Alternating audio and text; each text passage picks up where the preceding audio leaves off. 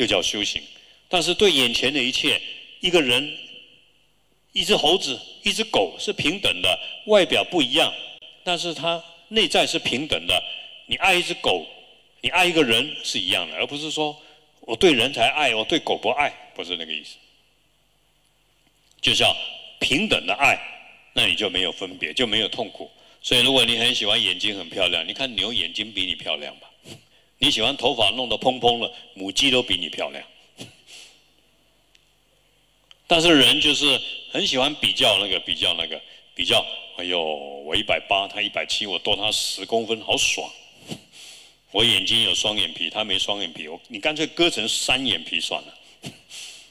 而且这样就比较美一点，啊，因为他都是在执着那个点，多一点钱，房子大一点，啊，人家四轮给你开八轮的好了，你感受皮毛肌肤赶快，骄傲一点。但事实上，这些对解脱生死有帮助吗？没有，所以你要去想。所以各位呢，无名贪爱是痛苦的因。所以佛陀讲第三个灭地，那如何消灭生命的痛苦呢？那你就要把无名贪爱消灭掉就好了。所以他叫我们打坐、点灯、思维真相，把无名消除掉。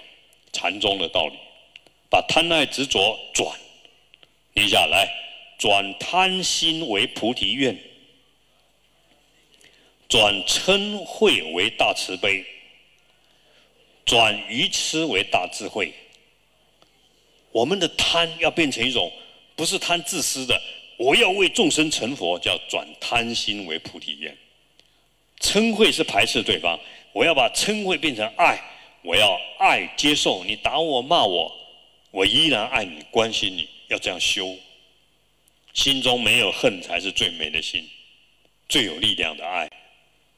所以转嗔恚为无嗔的大悲心，啊，转愚痴执着看不到真相，执着爱情，执着地位，执着命质，各位这些都只是一个假象。像念一下，一切有为法，如梦幻泡影，如露亦如电，应作如是观。你现在所追求一切都是梦幻泡影，假的，啊，就像云雾一样。你要看清楚，不要被这个假的抓住了。一个感受也是假的啊！我老公很爱我，能够让你不要生老病死吗？那只是一个感受，有人爱我，但是你执着这个感受，你就会苦。所以《心经》说：“无色受想行识，色就是肉体，受就是感受、想法、造作、意识分别。无色受想行识，照见五蕴皆空。”你能够有智慧了解它只是一个现象组合，没有真实的我的头、我的感情，那你就超度了，解脱了。所以每天运动还是会死，让你多活十年。但是真正让你不死的，是一个无我的智慧，无我的叫空性的。这个身体不是真正的我，太阳才是我。因为离开太阳我不能活，离开水我不能活，离开空气我不能活。各位要不要试试看？现在开始。三分钟不要呼吸，好不好？西高不坏。对不对？这个结论都想都不用想，离开空气你不能活，没什么好骄傲的。感谢空气，所以不要破坏空气，破坏空气你会得肺癌。不要破坏水质，破坏水质你会得血癌。不要破坏硬体太厉害，你会得骨癌。因为你的身体不能够离开这个世界所有存在的地水火风。这特别在马来西亚，各位在利明达会长跟我说，大家从事农业啊，种种榆树、种橡胶、种很多农产品，各位一定要感谢大地，要感谢大背公啊。但是不要，就算你要挖，也要跟他说谢谢，感谢这些树，树来自于太阳，太阳跟空气，所以人类给树二氧化碳，树给人类氧气，所以离开树你不能活。所以人活在这个世间，不是单独自立，不是单独自己可以存在的，因为我们是念一下互相依靠而存在。所以各位要感谢国家，我们是华人，我们感谢马来人，我们感谢马来西亚政府。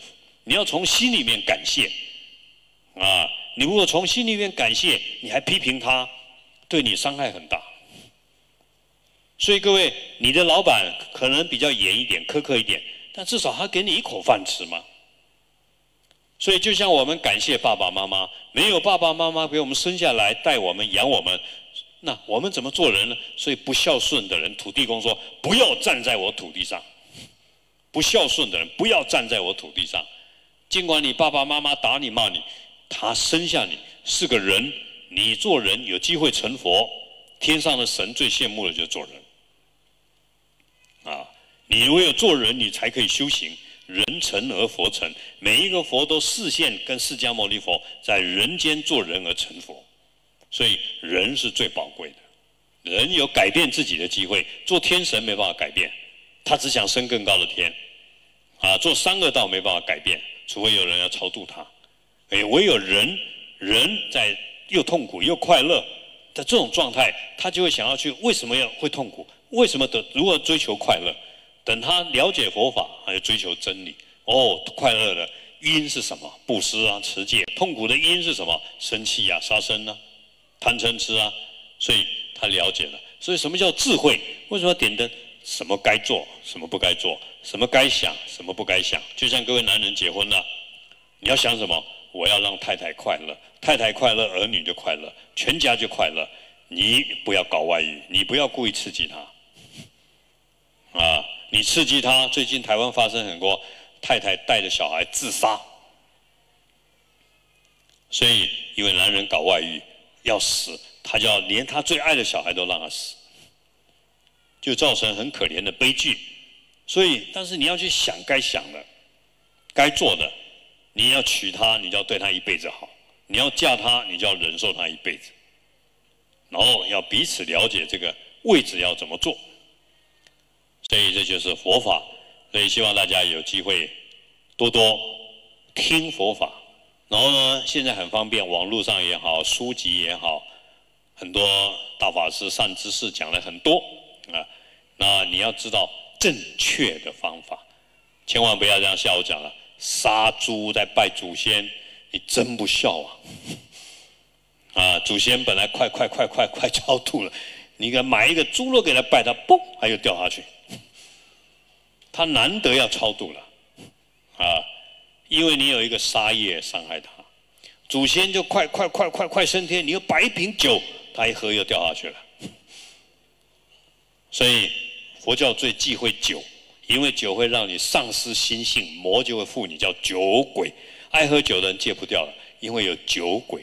除非你要写牌位，超度我的酒鬼、烟鬼、毒鬼、色鬼，因为有鬼在你身上。吸毒为什么戒不掉？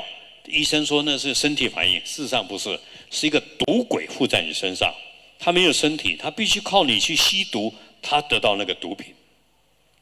他读到那个味道，所以这个毒，这个吸毒鬼在你身上，他不让你戒的，他会让你痛苦的。你要把它超度了，你不把它超度了，现在你戒两个月以后，他还是来找你，你克制不了的。所以什么心态招感什么鬼，正面的心态招感神佛菩萨，负面的心态招到鬼魔，所以你的命运你自己决定。所以我们叫戒。戒就是各位的心要正，要正，对不对？该想的、该做的，不该想的、不该做的，你要正。归法就是正而不邪，要端正。人神人正神亦正，人邪神亦邪。啊，所以各位不要看庙大间你就去拜，这庙主持庙的或这些人人正不正？他的动机是什么？他的动机是钱钱钱啊，政治金钱。那你千万不要滚，那个是个复杂的、痛苦的地方，没有清净的。所以，我们将来如果你搞寺庙大，啊，人家政治人物也来找你，那个也会来找你，你要小心，该避要避，因为因为佛寺寺庙是清净，不能搞这些是是非非的。那你要搞，那你就不清净，不清净你就招感魔，魔找你，你晚上就会找女人睡觉，连出家人都会，因为你会觉得这个对。因为魔已经进入你的心了，哦，睡觉你癌症就会好，有没有看过这种新闻啊？你女儿跟我睡，病就会好，因为他已经魔攻入他的心，你心不正，魔就来找你。所以修行人是个，你讲降魔成道。你看释迦牟尼佛要降魔，你不降魔，你成不了道。你越想成道，你越想成佛，魔越来障碍。但是魔从哪里来？心魔招感外魔，是你自己里面有魔的。你心里没有魔，外魔不会来找你的。哦，我我很喜欢谈恋爱，女生看我两眼很爽，呃，女鬼就来找你。呃，我们超度，今天各位就带很多女鬼回家，或是男鬼回家。曾经有一些女生来找我，啊，师傅，那天参加人家回来，晚上怎么有男鬼来找她睡觉啊？被强奸了，而且天天来找他。我说你要告谁？你怎么告？他说没办法，那那个是鬼。我说你参加超度的时候要端正，你那时候不要再显现你是男是女。超度的时候要怎么样？来，自己变观音菩萨。各位要记住啊，你要去洒水洒米，你要观想，我自己变观音菩萨，是个慈悲心所现的外表。然后那些众生看到你呢，他就看到观音菩萨，没有分别心，这样。而且对观，所以刚刚法会下午开始，我带各位念观音菩萨。就是念观音菩萨，我们跟身口意跟观音菩萨合在一起，所以众生看到我们就很高兴，因为大家都变观音菩萨。然后你要超度他，就很容易超度。当然很多人一听我这样讲，那我就不要超度就没事了，那你就成不了佛了，断不了烦恼了。因为下午念的烟供功德这么大，施食甘露水功德这么大，可以可以不堕落三恶道，可以消业障，可以富贵平安。那你为什么不要？但是你要得到那个鱼与熊掌不可先得啊，啊，不可两边都要。你要得到这个，那你要守戒律，动机要正确。所以我会强调，超度法会跟金钱没关系，跟你的悲心比较重要。那这两天，刚刚会长主席说，外面会留一个炉，最好能够烧七天。我建议的，因为这这同学们上课，因为烧个七天七夜，那叫大超度。各位最好每天买饼干、食物、素食的来，给它投进去，投进去，给它加牛奶，让它烟多一点。这个烟吹到整个马来西亚，因为大家的慈悲心一起在那边念佛加持了，然后呢，他就一直在超度众生。就像你点灯，最好点个七天七夜不灭嘛，叫七天七夜灯。药师经说，一个人生病啦，快死了，你把它点七日七夜四十九盏。他就会长寿无病，就这个意思。同样的，这个烟供如果能够七日七夜，那各位这一辈子的业障消除。但是不不是把它点在那边随便烧哦，是你虽然没有来，但是你知道那边在冒烟供，你在家里一有空就嗡啊哄，嗡嘛呢边边哄，你要升起观音菩萨的心态，希望这个烟供更能够超度更多，为他们供养三宝，替他们下施众生。你升起多少念头，它力量就多大。不管你人在美国，不管你人在哪里，那这个烟供永远都在发挥它的功德，而不是把它烧了没有了，那就浪费了。要把它透过我们的心而转化。现在我来带各位念个忏悔文呐。为什么要念？希望大家今天的法会能够，就像我想讲了，我杀死蛇，我跟他忏悔了，他就。除了我消除病苦，他就不会一直在伤害了。那不管做什么，你都要，你做生意做不到，身体生病，夫妻感情不好，这就是有业障，有鬼神。那业障你要忏悔，鬼神你跟他超度。但在超度之前，一定要先跟他忏悔。就像我们祖先没超度，我们要跟祖先忏悔。爸爸，我我不知道你那么痛苦啊，啊，我赶快要来跟你忏悔，然后我帮你做功德。啊，希望爸爸能够去有福报，去极乐世界乃至升天。所以各位，请翻到七十一页，这四个四句话很重要啊。往昔所造诸恶业，过去世包括昨天以前所造的身口意，伤害到众生了身体杀生、偷盗、邪淫，嘴巴骗人、骂人、说是非，心里的贪嗔痴。那为什么造恶业呢？皆由无始贪嗔痴，都是因为我们内心无始劫来一直留了这个贪嗔痴这些烦恼。有贪嗔痴，身体会造业，就会痛苦。所以有了贪嗔痴，你就引导你的身与意去造业。所以你嘴巴会骂人，因为你生气了嘛。你生气了，你就骂人了。啊，你嘴巴为什么会骗人？因为你贪心了嘛，你贪心了，所以你会去骗人。那你为什么会杀生吃肉？你愚痴嘛，啊，或是贪心又愚痴，不了解他会找你报仇的。如果你知道那个肉会找你报仇，你绝对不敢吃它的。啊，就是你不知道假狼半斤海狼被牛，台话讲，广清老和尚说的。啊，你吃它，它吃你。人死为羊，羊死为人，就一直一直一直很恐怖的。啊，所以各位，你这辈子喜欢吃羊肉，那你要做羊做很久了。而且还要被自己的人杀，啊！所以这个小孩子很喜欢杀牛，因为他爸爸来投胎做牛啊。每次杀到了都是他爸爸，而且不是杀一次，在几在一两年又长大又来杀，要杀好几次的。所以叫无灾考无灾造。为什么？他知道杀他人，他跟他什么因缘？没办法，我欠你债，我上辈子你爸爸，他只会哭，他只会哭，很可怕的。那。猪呢，在经典说，猪也知道它要被杀几次，它想要跑，但是他也没办法。猪它还有一个宿命通啊，我要被杀四十九次，魔法多了啊，但是它也没办法。所以各位，你不要说他们不会讲话，他们有意思，是他不会讲话，但是他有意识的。所以曾经有个故事，隔天有几只猪要被杀了，老和尚带小沙弥去住。然后那个母猪叫叫叫叫，小沙弥去去上厕所，他就叫叫叫叫叫叫叫叫，然后就意思说你找你师傅啦，我明天要被杀了。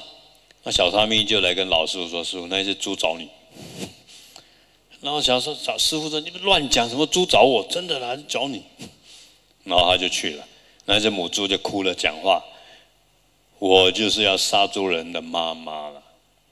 为什么？因为为了我女儿家里穷啊，我偷了我儿子的。”几匹布啊，偷偷塞给我女儿去生活啊，偷的。那我现在欠我儿子债，所以我还要来还债，让他猪把我杀了卖了来还他钱。你就告诉我儿子吧，不要杀我，我很痛苦啊。然后他说：“你怎么样可以证明你是他妈呢？”如果老和尚说：“我跟你儿子讲，不不讲我神经病了。”他妈说：“那你跟我儿子讲好了，我在房间哪一个抽屉放什么东西，不然他去你去找。”后来他就把他儿子找来，这只猪啊，叫你不要杀它。你看他眼睛像不像你妈？啊，他说他在房间藏什么，然后你去看，他证明他是你妈，他还可以讲了一些你小时候的事情，你相不相信？哇，那个人一听就哭了，然后就去看，真的是他妈。他永远不敢再杀了，所以各位修欠债就是这样，欠债要还债啊，欠别欠欠无惊债，欠惊债就很痛苦的。以前还有一只牛也是这样，舍利佛经过的时候，那只牛就掉眼泪。那舍利佛受不了了，就过去问你为什么掉眼泪？师傅啊，我被我儿子杀两次了，后面还有好几次，你就救救我吧。我欠他债还债可以，但是真的很痛啊，受不了啊。啊，然后舍利佛说：“那你你为什么欠他债？”然后舍利佛打坐一观，啊，原来这个男人结婚很穷，但是为了养家，甚至他太太怀孕了，他答应要让他太太过好生活，每天去做很多事，包括害人的事，赚很多钱，赚了很多钱呢，终于买了房子给他太太生下小孩。等小孩快大了，他就病死了。病死以后，他很执着，很执着他的儿子。然后他虽然投胎要做牛被杀，但是因为执着儿子，每次都投胎他自己的家。然后他养大了，他儿子就把他牵了，他就一直掉眼泪，杀吧这样。终于碰到舍利弗，他受不了了，他讲这一段故事。后来，那舍利弗说：“那我怎么跟你儿子说呢？”那老牛就说了：“你跟我儿子说，爸爸在后花园还藏了两缸黄金，他没知道了。”然后他就找他儿子来。然后舍利弗讲了，这只牛就带着他挖出两缸黄，然后他就相信，然后眼睛就变他爸爸，他就相信。各位，这个就是真相啊！你所吃到的肉都是欠你债，没有欠你债，你吃不了他的；没有欠你债，你欠不了他。所以还有一个故事，各位不知道听过没有？有一位尊者，这一位尊者有神通，忘了叫什么名字。有一天他在打坐啊。旁边有一个男人抱了一个小孩，手上抓一只鱼，鱼头吃完肉了，咔弄断，丢在地上。母狗来吃，他就踹那只母狗，不让母狗过来吃。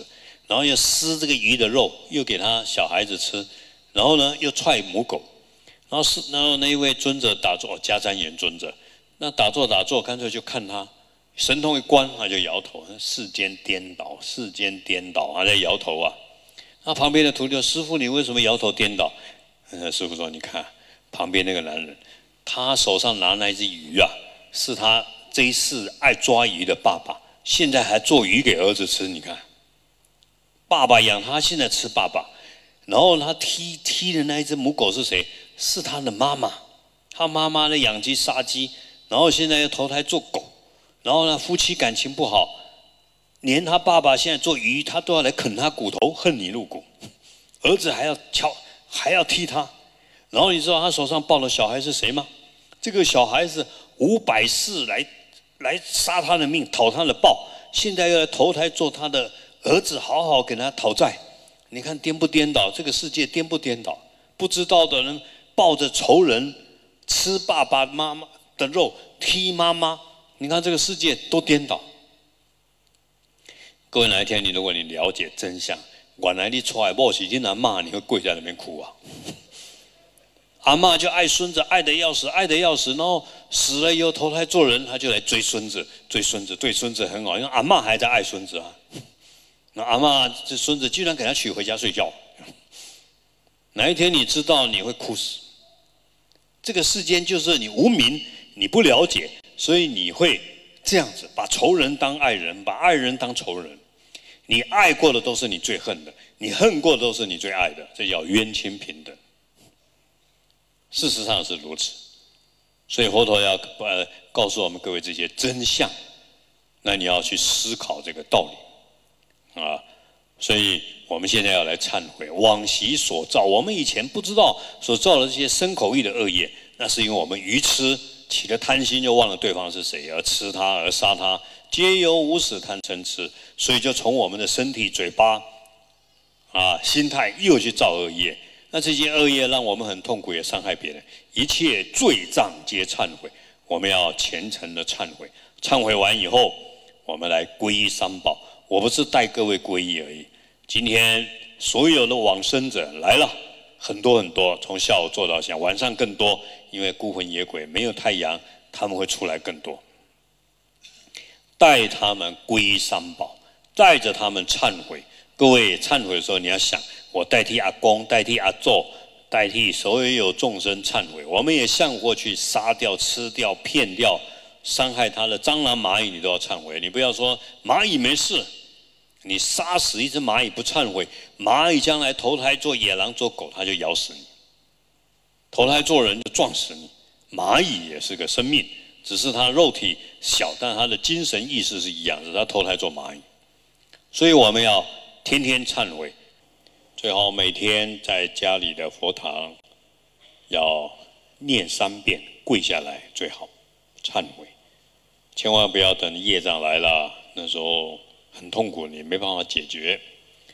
惭愧心是修行最基本的，一个没有惭愧心，他就不想忏悔，然后他就没办法消业障。如果天神懂得忏悔，就不会堕落啊，因为消业障。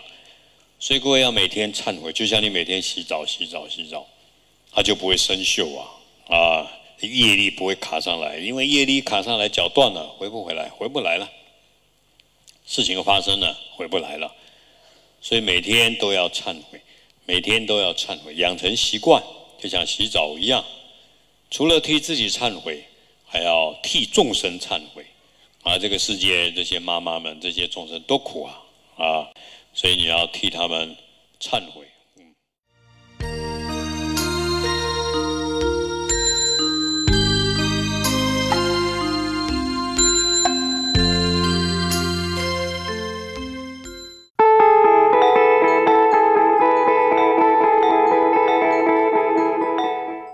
护持生命电视台就是护持佛法，就近帮助众生离苦得乐。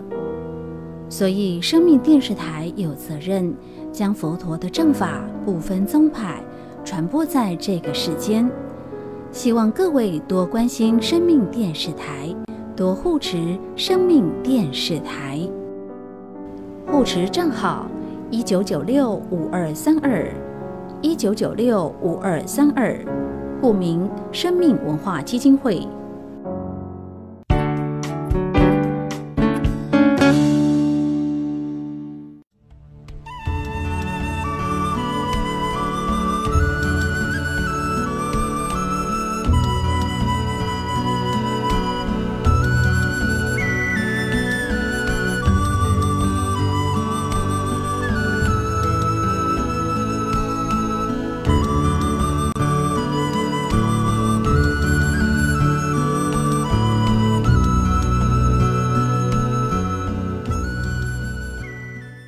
现在要带他们皈依三宝，我们大家都皈依三宝。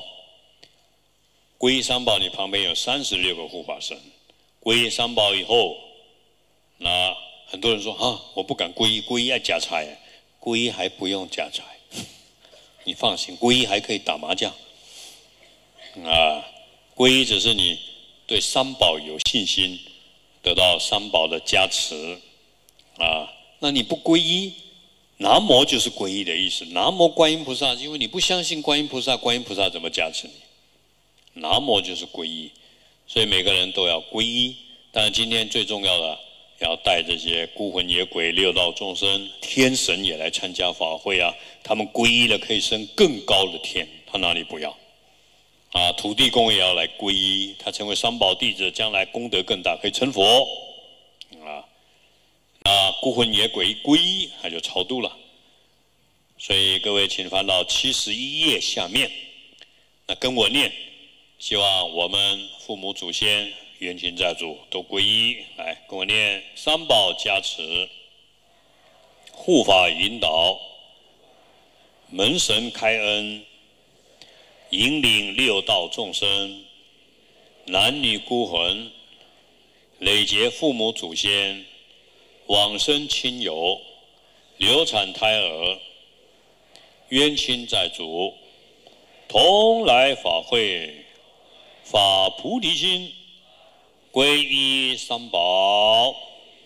啊，跟我念哦，他们你皈依你的祖先就皈依了。你不能说阿妈你皈依我卡巴内了，你要引导你的阿妈来皈依，啊，你要引导你过去世的爸爸来皈依。所以我们叫七世父母光，超度不能光这一世爸爸妈妈，上一辈子的爸爸妈妈，上一辈子的爸爸妈妈，啊，你都要引导他，但是你的虔诚的心就可以引导他，这一点很重要。我们是个媒介，非常好。你念阿弥陀佛，阿弥陀佛，透过你的心的加持，你爸爸加持你的冤亲债主，那重点都是透过你的心，啊，所以我们皈依了有信心，皈依现在没有什么约束，还没什么约束，它只是一个。帮助你有一个方向，有三宝弟子，有佛加持你，但是更帮助你的祖先，所以你不用担心啊！我外面还在玩女人，怎么归啊？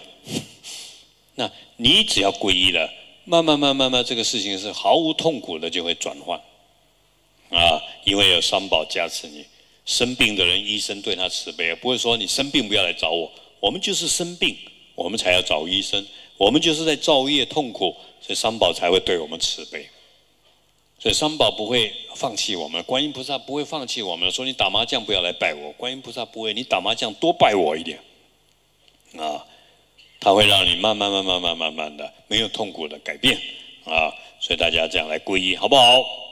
来，再念一次：愿父母祖先六道有情发菩提心，皈依三宝。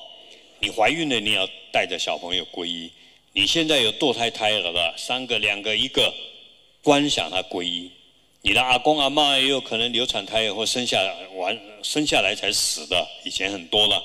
科技不发达，医学生下来都绑了很多，你一定要让他皈依，不然他长大了，他就要要你的小孩子，家里会有问题啊。那最主要你要带着你的冤亲债主过去吃掉了动物啊，堕胎的小孩啊，跟着你来了都皈依啊。所以愿他们都皈三宝，来跟我念：皈佛、皈法、皈僧、皈佛、两足尊、皈法，离欲尊，归僧，众中尊。